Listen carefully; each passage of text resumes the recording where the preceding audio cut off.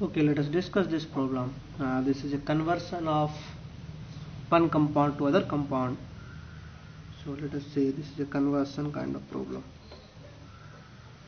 How will you make the, the uh, compound with a given compound? So let us say this says so how would you synthesize this compound using methylene cyclohexane as your starting material. So this is your methyl lean cyclohexane. So this molecule you have. This molecule is given to you. From this molecule, you have to prepare some molecule. So this molecule is methyl, methylene, methylene cyclohexane.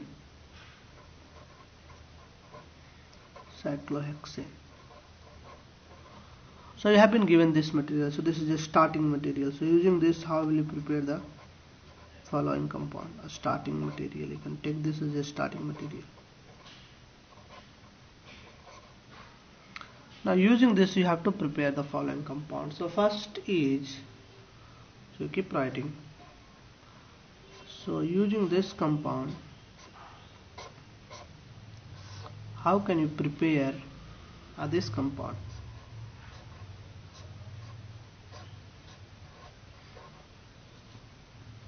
now this is a one step reaction. You know the answer basically. What has happened? You see here you have hydrogen two hydrogen. Now you have three hydrogen.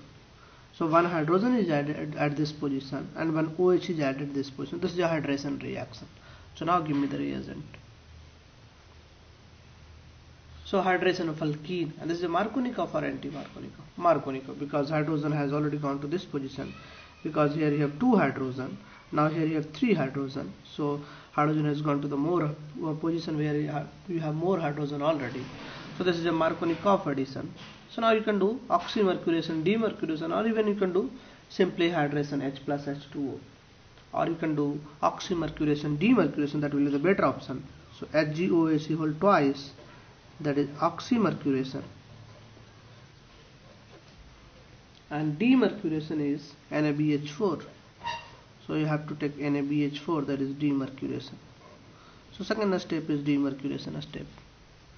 So HgOH to twice oxymercuration. This is also taken with the water. Water is solvent. So this is the first step uh, oxymercuration. Second step is demercuration now let us discuss the next part. You have been given this compound same compound. The starting material is same for every case. And you have to prepare this this is again easy one. So here you have Br so how will you do this one? Now see this is a addition of HBr here you have a hydrogen added. You see there is a hydrogen that is added and there is a bromine that is basically two hydrogen you have. So you, one bromine is added. Now this is it let me show you hydrogen so that you don't have any confusion. Now here also let us show the hydrogen. You're getting? Now you see hydrogen is added to the position where you have less hydrogen. So give me the reagent. Yeah this is anti-Markovnikov addition so what reagent you will use? Yeah uh, HBr with the presence of peroxide. So you have to use HBr in the presence of peroxide. ROOR or H2O2 or you simply can write peroxide. So HBr in the presence of peroxide will give you the same reagent. Now C1 so let us discuss this one. So you have this. A starting material is same in each case. If I do this and if I have to prepare this. Now this time I have to add OH here. Give me the reason. So addition of OH is what? anti-Markovnikov or Markovnikov again HOH is anti-Markovnikov because H is added here. So you see three hydrogen so hydrogen has added at this position and OH is added at this position so hydrogen is added less hydrogen where you have. So this is the anti-Markovnikov addition so anti-Markovnikov give me the reagent. I will wait for one minute. What is the reagent? anti-Markovnikov addition of HOH yeah. Hydroboration oxidation.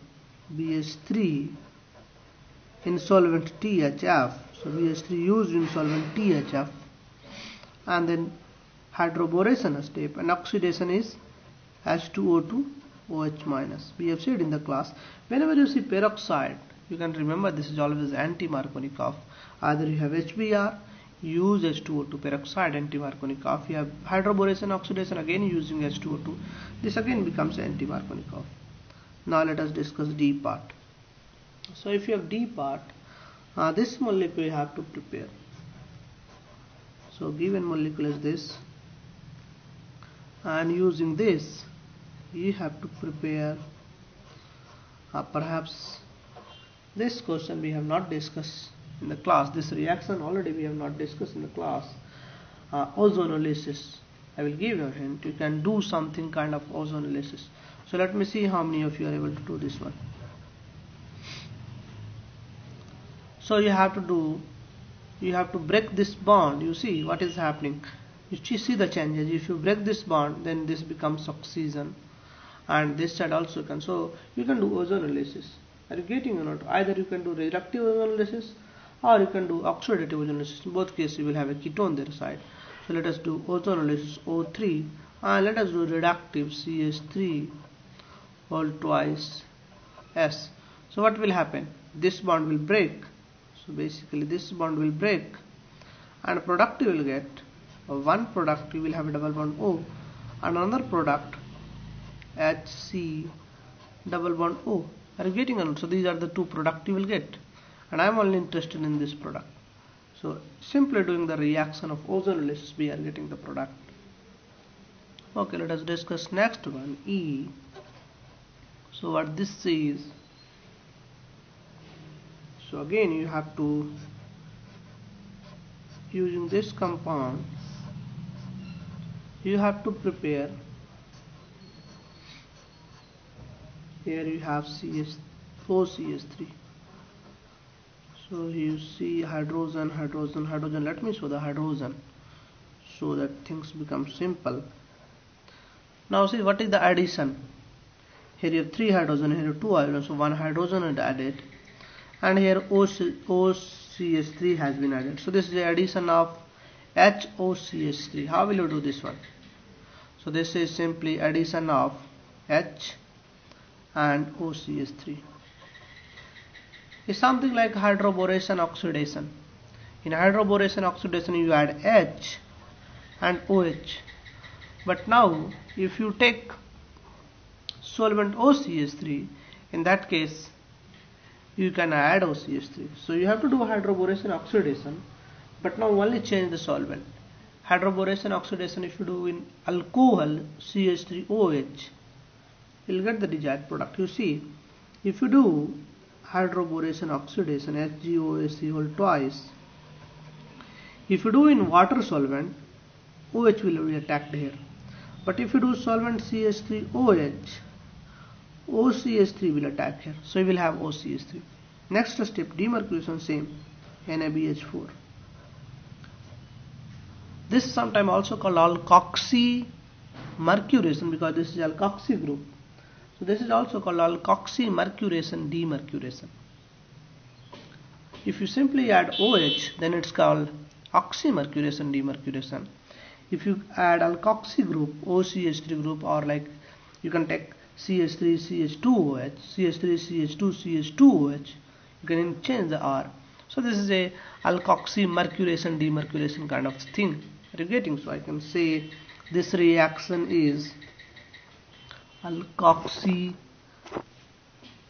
alkoxy mercuration demercuration maybe a spelling will be not right.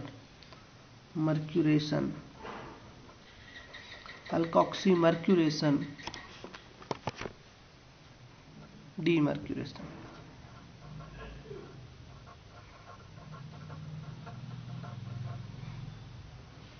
okay I think all of you have written this one. So let us go for the next question.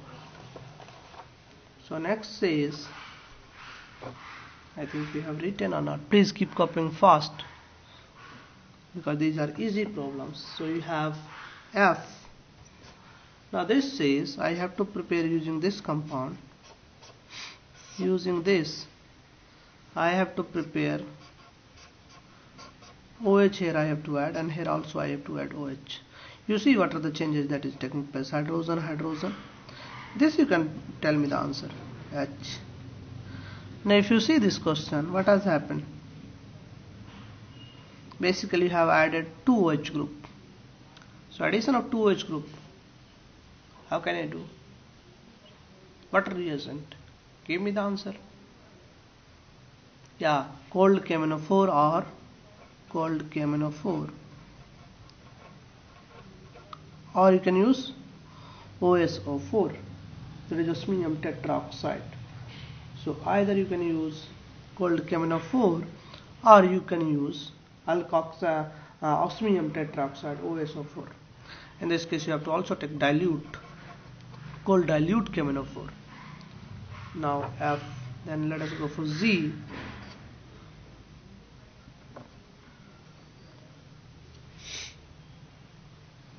So you have to prepare this. You've been given this and you have to prepare this. Now this you know basically.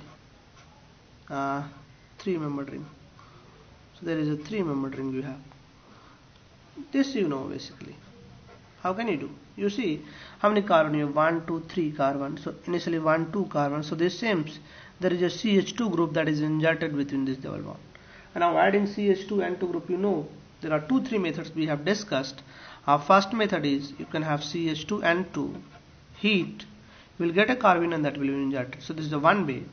Another traffic you can have you take uh, as CH2I2 in the presence of zinc. CH2I2 in the presence of zinc. This we have discussed in the class. This reaction is called Simmons-Smith reaction.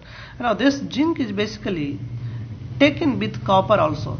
Copper as acting as a catalyst basically increases the reactivity of zinc. This does not has a much meaning. It only increases the reactivity. So if you simply write zinc this reaction will not take place. So you write zinc with copper zinc copper couple. So this is a couple.